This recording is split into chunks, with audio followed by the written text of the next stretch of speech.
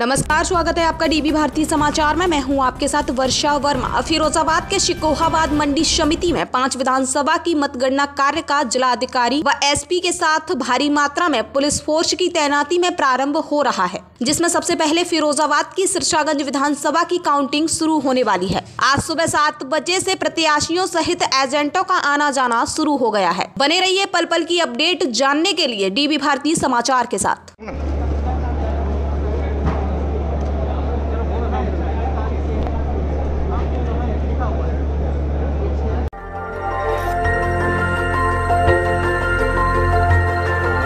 देखते रहिए डीवी भारती समाचार नज़र हर खबर पर।